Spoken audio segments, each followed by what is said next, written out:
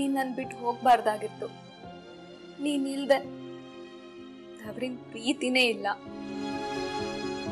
ನೀನ್ ಇರ್ತಿದ್ರೆ ಅಮ್ಮನ ಮನೆಗೆ ಹೋಗಿ ಬಂದು ಖುಷಿಯಲ್ಲಿರ್ಬೋದಿತ್ತು. ಅಮ್ಮ, ಯಾಕೆ ನನ್ನ ಒಂಟಿ ಮಾಡಿ ಹೋಗ್ಬಿಟ್ಟೆ?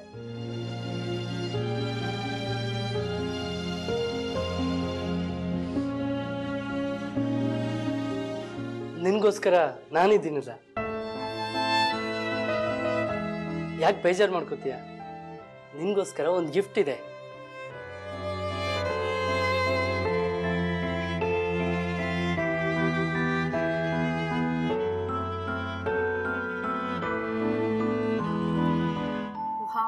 ಸೂಪರ್ ಆಗಿದೆ ಅಜಯ್.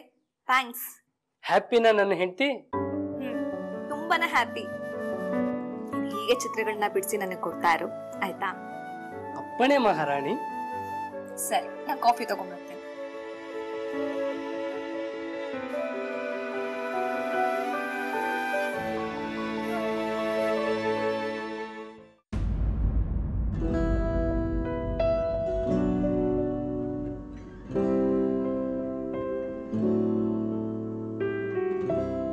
ದೀಕ್ಷಾ? ಶ್ರಾವಣಿ ನಾನು ಫೋನ್ ಮಾಡಿದ್ಲಾ? ಹೌದು ಮಾಡಿದ್ಲು. ಮಾವ ಶ್ರಾವಣಿ ಅವಳು ಇಷ್ಟಪಟ್ಟವನ ಮದ್ವೆಯಾಗಿ ಎಷ್ಟೋ ದಿನ ಆಯ್ತು. ಇನ್ನೂ ಅವಳ ಮೇಲೆ ಯಾಕೆ ಕೋಪ ನಿಮ್ಗೆ? ನೀವೇ ಫೋನ್ ಮಾಡಿ ವಿಚಾರಿಸ್ಬೋದಲ್ವಾ? ಎಷ್ಟೇ ಆದ್ರೂ ನಿಮ್ ಮಗಳು ತಾನೆ. ಕೇಳಿದ್ದಕ್ಕಷ್ಟೇ ಉತ್ತರ ಕೊಡು. ನಮಗೆ ವಿರುದ್ಧವಾಗಿ ಮದುವೆ ಆದವಳು ಅವಳು. ಅವಳನ್ನ ನಾವ್ ಯಾಕೆ ವಿಚಾರಿಸ್ಬೇಕು? ಅವಳು ಈ ಮನೆ ಮಗಳು. ಅವಳೇನು ತಪ್ಪು ಮಾಡಿಲ್ಲ. ಅವಳು ಅಜಯ್ ನಮ್ಮ ಮದುವೆ ಆಗಿದ್ದೇ ತಪ್ಪು. ಅದೆಲ್ಲ ಗೊತ್ತಿಲ್ಲ. ಅವಳನ್ನ ಈ ಮನೆಗೆ ಸೇರ್ಸ್ಕೊಳ್ಳೋವರೆಗೂ ನಾನು ಈ ಮನೇಲಿ ಇರಲ್ಲ. ಶ್ರಾವಣಿ ಒಂದು ಮಾತು ಕೇಳಲ್ಲ ಕೇಳಿ ಅದಕ್ಕೇನಂತೆ? ಸ್ವೀಟ್ಗೆ ಯಾಕೆ? ಏನಿಲ್ಲ ನಿನಗೂ ನಿಮ್ಮ ಅಪ್ಪ ಅಣ್ಣನ ನೋಡಬೇಕು ಅಂತ ಅನ್ಸುತ್ತಲ್ವಾ? ಅವರೇನೋ ದೊಡ್ಡವರು ನಿನ್ನ ಹತ್ರ ಮಾತಾಡಲ್ಲ. ನೀನೇ ಹೋಗಿ ಒಂದ್ಸಲ ಮಾತಾಡ್ಬಿಟ್ ಬಾ. ಇಲ್ಲ ಅಜಯ್. ನಿನ್ಗೆ ಎಷ್ಟು ಅವಮಾನ ಮಾಡಿದ್ದಾರೆ ಅವರು. ನಾನಂತೂ ಆ ಮನೆಗೆ ವಾಪಸ್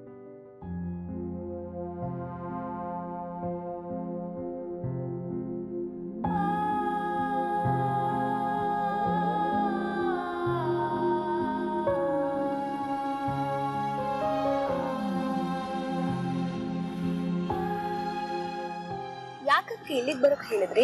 ಏನ್ ವಿಷಯ? ಶ್ರಾವಣಿ ನಾನು ಆ ಮನೆ ಬಿಟ್ಟು ಬಂದೆ ಕಣೆ. ಅಂದ್ರೆ? ಏನ್ ಹೇಳ್ತಿದ್ದೀರಾ ಅದಕ್ಕೆ ನೀವು? ಹ್ಞೂ ಕಣೆ ಅಲ್ಲಿರೋರ್ಗೆ ಪ್ರೀತಿ ಬಾಂಧವ್ಯದ ಬೆಲೆನೇ ಗೊತ್ತಿಲ್ಲ. ಅದಕ್ಕೆ ನೀನ್ ವಾಪಸ್ ಕರ್ಸ್ಕೊಳ್ಳೋವರೆಗೂ ನಾನು ಈ ಮನೆಗೆ ವಾಪಸ್ ಬರೋದಿಲ್ಲ ಅಂತ ಹೇಳಿ ಬಂದೆ ಅಯ್ಯೋ ಯಾಕೆ ಈಗೆಲ್ಲ ಮಾಡಿದ್ರಿ ಅದಕ್ಕೆ ನೀವು ತಪ್ಪು ಮಾಡಿದ್ರಿ. ನನ್ ವಿಷಯ ಬಿಡಿ ನಿಮ್ಮ ಮುಂದಿನ ಜೀವನದ ಬಗ್ಗೆ ಯೋಚನೆ ಮಾಡ್ಬೇಕು ಅಲ್ವಾ? ಇಲ್ಲ ಶ್ರಾವಣಿ ನೀನೇನು ತಪ್ಪು ಮಾಡಿಲ್ಲ. ನೀನ್ ಆ ಮನೆಗೆ ವಾಪಸ್ ಬರಬೇಕು. ಅದಕ್ಕೆ ಅವ್ರು ನನ್ನ ಕರೆದ್ರು ನಾನು ಆ ಮನೆಗೆ ವಾಪಸ್ ಬರಕ್ ತಯಾರಿಲ್ಲ. ಅಷ್ಟೊಂದು ಬೇಜಾರಾಗಿದೆ ನನಗೆ. ಯಾಕೆ ಹಾಗೆ ಹೇಳ್ತೀಯ ಶ್ರಾವಣಿ? ಅದ್ ನಿನ್ನ ಅಮ್ಮ ಇದ್ ಮನೆ. ಆ ಮನೆಗೆ ನೀನ್ ಬರಲ್ವಾ? ಹ್ಞೂ ಅದಕ್ಕೆ ಅದ್ ನಮ್ಮ ಅಮ್ಮನ ಮನೆನೆ. ಅದ್ ಬಿಡಿ ನೀವು ಇವಾಗ ಎಲ್ಲಿದ್ದೀರಾ? ನಿಮ್ ತಂದೆ ತೀರ್ಕೊಂಡ್ಮೇಲೆ ನಿಮ್ ಮನೆ ಎಲ್ಲ ಆಶ್ರಮಕ್ಕೆ ಕೊಟ್ಬಿಟ್ರಿ ಅಲ್ವಾ? ಹ್ಮ್ ಅದಕ್ಕೆ. ಅಲ್ಲಿ ತನಕ ರಜನಿ ನಡೆಸ್ತಿರೋ ಆಶ್ರಮದಲ್ಲಿ ಇರ್ತೀನಿ. ಸರಿ ಏನಾದ್ರೂ ಸಹಾಯ ಬೇಕಿದ್ರೆ ಕೇಳಿ. ಸರಿ ಶ್ರಾವಣಿ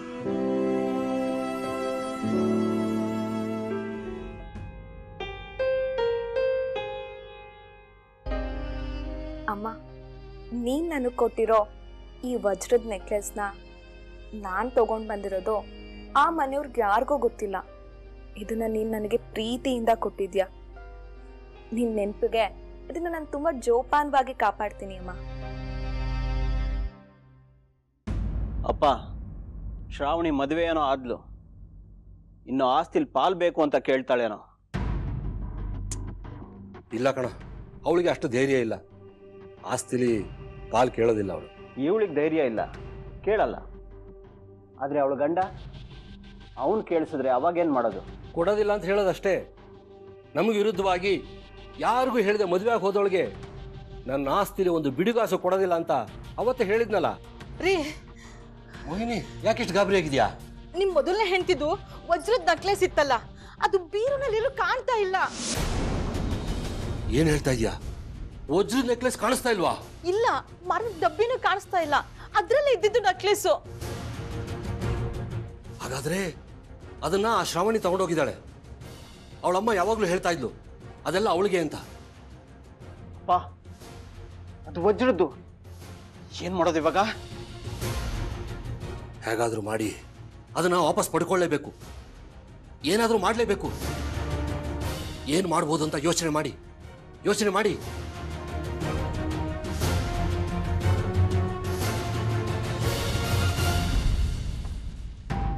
ನಮಸ್ಕಾರ. ನಾನು ನಿಮ್ಮ ಯಶಸ್ವಿನಿ. ಶ್ರಾವಣಿ ಹಾಗೂ ಅಜಯ್ ಇಬ್ರು ಪ್ರೀತಿಸಿ ಮದುವೆ ಆದವರು. ಇವರಿಬ್ರು ಪ್ರೀತಿಗೆ ಶ್ರಾವಣಿ ಮನೆಯಲ್ಲಿ ಒಪ್ಪಿಗೆ ಇರಲಿಲ್ಲ. ಹೌದು. ಶ್ರಾವಣಿ ಅಗರ್ಭ ಶ್ರೀಮಂತೆ. ಅಜಯ್ ಶ್ರೀಮಂತ ಏನಲ್ಲ, ಅವನೊಬ್ಬ ಅನಾಥ. ಶ್ರಾವಣಿ ಅಣ್ಣ ಹಾಗೂ ಅಪ್ಪನ ತೀವ್ರ ವಿರೋಧ ಇತ್ತಾದ್ರೂ ಶ್ರಾವಣಿ ಅತ್ಗೆ ದೀಕ್ಷಾಳ ಸಪೋರ್ಟ್ ಇಂದ ಇವರಿಬ್ರು ಮದ್ವೆ ಮಾಡ್ಕೋತಾರೆ. ಹೊಸ ಜೀವನನ ಶುರು ಮಾಡ್ತಾರೆ. ಮೋಹಿನಿ ಶ್ರಾವಣಿ ಚಿಕ್ಕಮ್ಮ. ಶ್ರಾವಣಿ ಮೇಲೆ ಅವ್ರಿಗೆ ಸ್ವಲ್ಪನೂ ಪ್ರೀತಿ ಇರಲ್ಲ. ದೀಕ್ಷಾ ಶ್ರಾವಣಿನ ಮನೆಯವರೆಲ್ಲ ಕ್ಷಮಿಸಿ ಒಪ್ಕೊಂಡು ಮನೆ ಕರೆಯೋವರೆಗೂ ಮನೆಗೆ ಬರಲ್ಲ ಅಂತ ಹೇಳಿದ್ಲು. ಅಜಯ್ ಕೂಡ ಅವಾಗ ಅವಾಗ ಅಪ್ಪನ ಮನೆಗೆ ಹೋಗ್ಬಾ ಅಂತ ಹೇಳ್ತಿರ್ತಾನೆ. ಶ್ರಾವಣಿ ವಾಪಸ್ ಮನೆಗೆ ಬರ್ತಾಳ. ತನ್ನವ್ರ ಜೊತೆ ಸಂತೋಷದಿಂದ ಜೀವನ ನಡೆಸ್ತಾಳ. ಆ ನೆಕ್ಲೆಸ್ ಮೇಲೆ ಎಲ್ರಿಗೂ ಕಣ್ಣಿದೆ. ಆ ನೆಕ್ಲೆಸ್ ಯಾರ ಕೈ ಸೇರುತ್ತೆ? ಬನ್ನಿ ನೋಡೋಣ. ಹಲೋ? ಹಲೋ ಅಜಯ್ ಅಪ್ಪಂಗ್ ಹುಷಾರಿಲ್ವಂತೆ. ಅಣ್ಣ ಫೋನ್ ಮಾಡಿದ್ದ. ನಾನು ಮನೆಗೆ ಹೋಗಿ ಬರ್ತೀನಿ. ಹೌದಾ? ನಾನು ಸ್ವಲ್ಪ ಬ್ಯುಸಿ ಇದ್ದೀನಿ. ನೀನು ಹೋಗ್ಬಾ ಸರಿ ಅಜಯ್. ಗಾಬರಿ ಆಗ್ಬೇಡ ಏನೂ ಆಗಲ್ಲ ಆಯ್ತಾ? ಸರಿ ನೀನು ಇವತ್ತು ಇದ್ಬಿಟ್ಟು ನಾಳೆನ ಬಾ ತೊಂದರೆ ಇಲ್ಲ. ಸರಿನಾ? ಹೊರಡು ಜಾಗ್ರತೆ. ಸರಿ ಅಜಯ್. ಅಪ್ಪ ಅಪ್ಪ ಅಣ್ಣ. ಚಿಕ್ಕಮ್ಮ ಅಪ್ಪ ಎಲ್ಲಿದ್ದಾರೆ? ಅಪ್ಪ ಹೇಗಿದ್ದಾರೆ? ಅಪ್ಪಂಗೆ ಏನಾಯ್ತು? ಶ್ರವಣಿ ಹೇಗಿದ್ಯಾ ಅಪ್ಪ ನನ್ನ ನೋಡ್ಬೇಕು ಅಂತ ಹೇಳ್ತಿದ್ರಂತೆ. ಏನಾಯ್ತು ಅಪ್ಪ ಇವ್ರಿಗೇನಾಗಿದೆ? ಆರಾಮಾಗಿ ಇದಾರಲ್ಲ. ನಿನ್ಗೇನಾದ್ರೂ ಕನಸು ಬಿತ್ತ? ಅಥವಾ ಆಸ್ತಿ ಲಪ್ಟಾಯ್ಸಕ್ಕೆ ಅಂತ ಏನಾದ್ರೂ ಡ್ರಾಮಾ ಮಾಡ್ಕೊಂಡು ಬಂದ್ಯಾ? ಶ್ರಾವಣಿ ನಿನ್ಗೆ ಈ ಅಪ್ಪ ಅಂದ್ರೆ ಪ್ರೀತಿ ಇದೆ ಅಲ್ವೇನಮ್ಮ? ಆಕ್ಸಿಡೆಂಟ್ ಆಗಿ ಸದ್ಯಕ್ಕೆ ಬರೋಕ್ಕಾಗೋದಿಲ್ಲ. ಅನಾಥಾಶ್ರಮದ ಜವಾಬ್ದಾರಿ ಬೇರೆ ನನಗೆ ಕೊಟ್ಟಿದ್ದಾಳೆ. ಆದರೆ ದುಡ್ಡಿನ ಸಮಸ್ಯೆ. ಆಶ್ರಮ ಹೇಗೆ ನಡೆಸೋದು? ಅನಾಥಾಶ್ರಮದಲ್ಲಿರೋರಿಗೆ ಹೊಟ್ಟೆ ಹಶುಗಾದರೂ ಏನಾದರೂ ಮಾಡಬೇಕಲ್ಲ.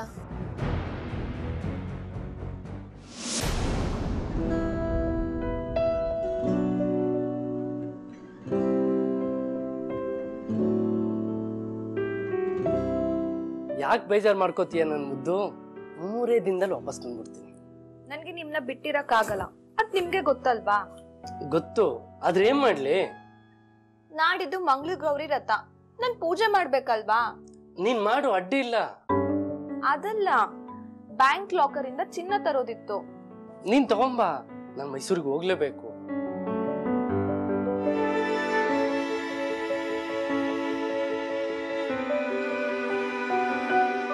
ಸರಿ ಬ್ಯಾಗ್ ರೆಡಿ ಆಯ್ತು. ಬಾ ಊಟ ಮಾಡಿ ಬೇಗ ಮಲ್ಗೋಣ. ಸರಿ.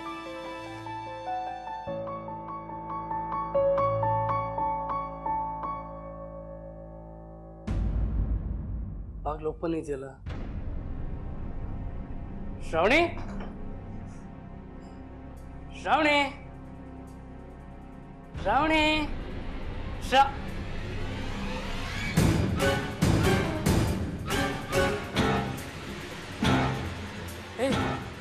ಎದ್ದೇಳು ಶ್ರಾವಣಿ ಶ್ರಾವಣಿ ಅಜಯ್ ಬಂದಿದ್ದೀನಿ ಎದ್ದು ನೋಡಿ ಶ್ರಾವಣಿ ಎದ್ದೇಳು ಶ್ರಾವಣಿ ಅಯ್ಯೋ ಎಂತ ಶ್ರಾವಣಿ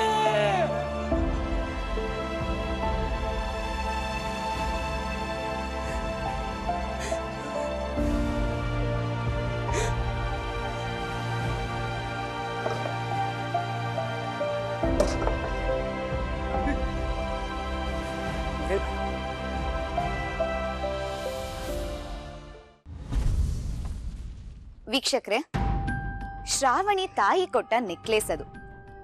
ಶ್ರಾವಣಿ ಆ ನೆಕ್ಲೇಸ್ನ ತುಂಬಾ ಜೋಪಾನವಾಗಿ ಕಾಪಾಡ್ಕೊಂಡಿರ್ತಾಳೆ. ಹೆಣ್ಮಕ್ಳಿಗೆ ತನ್ನ ತವರು, ಅದರಲ್ಲೂ ತಾಯಿ ಕೊಟ್ಟ ಉಡುಗೊರೆ ಅಂದ್ರೆ ಬಹಳನೇ ಪ್ರೀತಿ. ಅದ್ರ ಜೊತೆ ಒಂದು ಅವಿನಾಭಾವ ಸಂಬಂಧನೇ ಇರುತ್ತೆ. ಅಂಥದ್ರಲ್ಲಿ ಆ ನೆಕ್ಲೆಸ್ ಮೇಲೆ ತುಂಬಾ ಜನರ ಕಣ್ಣಿತ್ತು. ಅಪ್ಪ, ಅಣ್ಣ, ಚಿಕ್ಕಮ್ಮ ಎಲ್ರಿಗೂ ಆ ನೆಕ್ಲೆಸ್ ತಮ್ಗೆ ಬೇಕು ಅನ್ನೋ ಆಸೆ ಕೂಡ ಇತ್ತು. ಈಶ್ವರ್ ಅಂತೂ ಶ್ರಾವಣಿ ತನ್ನ ಮಗಳು ಅನ್ನೋದನ್ನು ಮರ್ತು ಅವಳನ್ನ ಕೊಂದಾದ್ರೂ ಆ ನೆಕ್ಲೆಸ್ನ ಪಡ್ಕೋತೀನಿ ಅಂತ ಹೇಳ್ತಿದ್ದ. ಅಜಯ್ ಕೂಡ ಆ ನೆಕ್ಲೆಸ್ ನನಗೆ ತುಂಬಾ ಹತ್ತಿರವಾದದ್ದು ಅಂತ ಹೇಳ್ತಿದ್ದ. ಹಾಗಾದ್ರೆ ಆ ನೆಕ್ಲೆಸ್ಗೋಸ್ಕರ ಶ್ರಾವಣಿ ಕೊಲೆ ಆಯ್ತಾ? ಅಥವಾ ಬೇರೆ ಏನಾದ್ರೂ ಕಾರಣ ಇದೆಯಾ? ಆ ನೆಕ್ಲೆಸ್ ಎಲ್ಲಿ ಹೋಯ್ತು? ಬನ್ನಿ ನೋಡೋಣ. ಸರ್ ನನ್ನ ಮಗ ಮುಕುಂದ್ ಅಂತ. ಒಂದು ದಿನ ಮಧ್ಯಾಹ್ನ ಶ್ರಾವಣಿ ಮನೆಗೆ ಹೋಗಿದ್ರಾ? ಹೌದು ಸರ್. ಹೋಗಿದ್ವಿ. ಮಾತಾಡ್ಸ್ಕೊಂಡು ಬಂದ್ವಿ. ಅವಳು ನಮ್ಮನ್ನು ದೂರ ಮಾಡಿದ್ರು ತವ್ರ ಸಂಬಂಧ. ದೂರ ಆಗಲ್ಲ ಅಲ್ವಾ?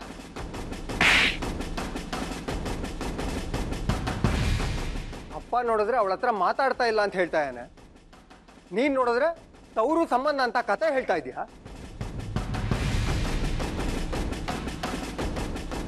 ಅದು ಅದು ಅದು. ನಿಜ ಹೇಳಬೇಕು. ಅದು ಇದು ಅಂತ ಕತೆ ಹೇಳಿದ್ರೆ ನಂಬೋದಿಲ್ಲ. ಸಾಕ್ಷಿ ಸಮೇತ ಬಂದಿದ್ದೀವಿ. ಹೌದು ಸರ್. ಹೋಗಿದ್ವಿ. ನೆಕ್ಲೆಸ್ ವಾಪಸ್ ಕೇಳೋಕ್ಕೆ. ಅಮ್ಮನ ನೆಕ್ಲೆಸ್ಸು ವಜ್ರದ್ದು. ಆದರೆ ಅವಳು ಕೊಡಲ್ಲ ಅಂದ್ಲು. ಸರ್ ನನ್ನ ಯಾಕೆ ಇಲ್ಲಿ ಕರ್ಕೊಂಡ್ ಬಂದಿದ್ದೀರಾ? ನಾನೇನ್ ಮಾಡಿದ್ದೀನಿ? ಶ್ರಾವಣಿ ಕೊಲೆಗೂ ನನಗೂ ಏನು ಸಂಬಂಧ ಇಲ್ಲ ಸರ್. ಓ ತುಂಬ ಫಾಸ್ಟ್ ಆಗಿದ್ದೀರಾ ಮೇಡಮ್ ಶ್ರಾವಣಿ ಕೊಲೆ ವಿಷಯದಲ್ಲೇ ವಿಚಾರಣೆ ಕರ್ಕೊಂಬಂದಿರೋದು ಅಂತ ಗೊತ್ತಾಗಿದೆ ಅಲ್ವಾ? ಸರ್ ಅದು ಸರಿ. ನಿಮಗೆ ಕೈ ತುಂಬ ಬಳೆ ಇಡೋದು ಅಂದರೆ ತುಂಬ ಇಷ್ಟ ಅಲ್ವಾ?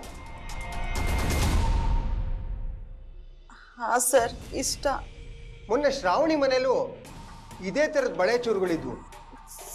ಸರ್ ಅದು ಅದೇನು ಅಂತ ಬಾಯ್ ಬಿಡು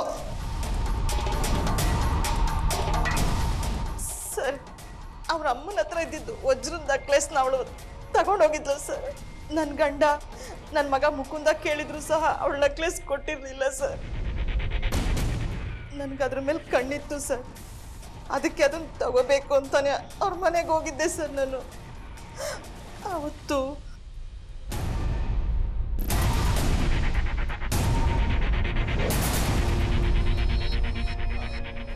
ಹಾಗಾದ್ರೆ ನಿನ್ನ ಅತ್ತೆ ಅಂದ್ರೆ ಮೋಹಿನಿ ನನ್ನ ಹತ್ರ ಸುಳ್ಳು ಹೇಳಿದ್ರಾ? ಸರ್ ಅದು ಅದು ಸ್ಟೇಷನ್ ಕರ್ಕೊಂಡೋಗಿ ಬಾಯ್ ಬಿಡಿಸ್ಲಾ? ಬೇಡ ಸರ್ ಹೋಗಿದ್ದೆ. ಶ್ರಾವಣಿ ಯಾವಾಗಲೂ ಅನಾಥಾಶ್ರಮಕ್ಕೆ ಸಹಾಯ ಮಾಡೋಳು. ಆದರೆ ಮೊನ್ನೆ ತುಂಬ ಕಷ್ಟ ಆಗಿತ್ತು ಸರ್. ನನ್ನ ಹತ್ರ ಒಂದು ರೂಪಾಯಿನೂ ಇರಲಿಲ್ಲ. ಅದಕ್ಕೆ ಅವಳ ಹತ್ರ ದುಡ್ಡು ಕೇಳೋಕ್ಕೆ ಅಂತ ಹೋದೆ. ಆದರೆ ಅವಳು ಇಲ್ಲ ಅಂದ್ಬಿಟ್ಲು ಅದಕ್ಕೆ ಅದಕ್ಕೆ? ಅವಳನ್ನ ಸಾಯಿಸ್ಬಿಟ್ಟ? ಇಲ್ಲ ಸರ್ ಆ ದಿನ ಬನ್ನಿ ಅದಕ್ಕೆ ಬನ್ನಿ ಕುತ್ಕೊಳ್ಳಿ. ಅದಕ್ಕೆ ಮತ್ತಿನ್ನೇನು ಸಮಾಚಾರ? ಎಷ್ಟು ದಿನ ಯಾಕೆ ಬರಲೇ ಇಲ್ಲ? ಅದೇ ಶ್ರಾವಣಿ ಅನಾಥಾಶ್ರಮದ ಜವಾಬ್ದಾರಿ ಎಲ್ಲ ನನ್ನ ಮೇಲೆ ಇದೆಯಲ್ಲ ಹಾಗಾಗಿಲ್ಲ ಶ್ರಾವಣಿ ಸ್ವಲ್ಪ ದುಡ್ಡು ಬೇಕಾಗಿತ್ತಲ್ಲ. ನನ್ನ ಹತ್ರನೂ ಕ್ಯಾಶ್ ಇದೆಯಾ ಅಂತ ನೋಡ್ತೀನಿ. ಅಜಯ್ ಕೂಡ ಇಲ್ಲ ಅಲ್ವಾ?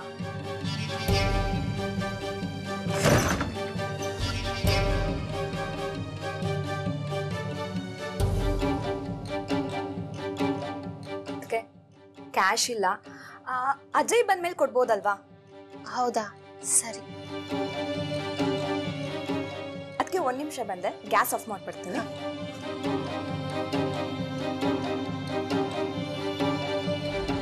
ಮತ್ತೆ ಕೈಗೆ ಗ್ಲೌಸ್ ಹಾಕೋದು ಮರ್ತೋಗಿ ಹಿಂದಿನ ಬಾಗಿಲು ಮೂಲಕ ವಾಪಸ್ ಹೋದೆ ಸರ್.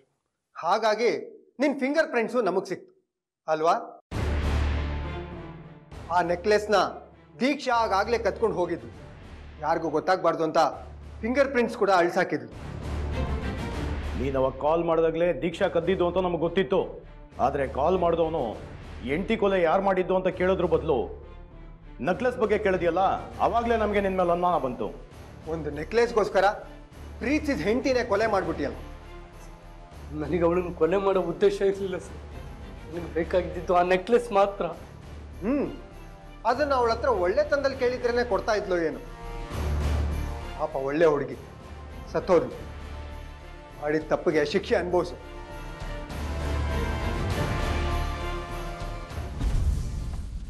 ನೋಡಿದ್ರಲ್ಲ ವೀಕ್ಷಕರೇ? ಅಜಯ್ಗೆ ಕೋಪ ಇದ್ದಿದ್ದು ಶ್ರಾವಣಿ ತಂದೆ ಮೇಲೆ. ಅವನ ಕೋಪ ಒಪ್ಕೊಳ್ಳೋ ಅಂಥದ್ದಾದ್ರೂ ಆ ಕೋಪಕ್ಕೆ, ದ್ವೇಷಕ್ಕೆ ಬಲಿಯಾದದ್ದು ಇಲ್ಲಿ ಶ್ರಾವಣಿ. ಅಣ್ಣ ಹಾಗೂ ಅಪ್ಪನಿಗೆ ತಂಗಿ ಮಗಳಿಗಿಂತ ವಜ್ರದ ಮೇಲೆನೆ ಬೆಲೆ ಜಾಸ್ತಿ ಅನ್ನಿಸ್ತು.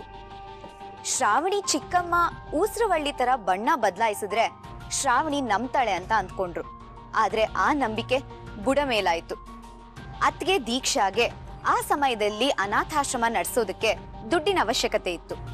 ಏನೋ ತಪ್ಪು ಮಾಡದೇ ಇರುವಂತಹ ಶ್ರಾವಣಿ ಎಲ್ಲರಿಂದ, ಅಂದ್ರೆ ತನ್ನವರಿಂದಾನೇ ಮೋಸ ಹೋದ್ಲು.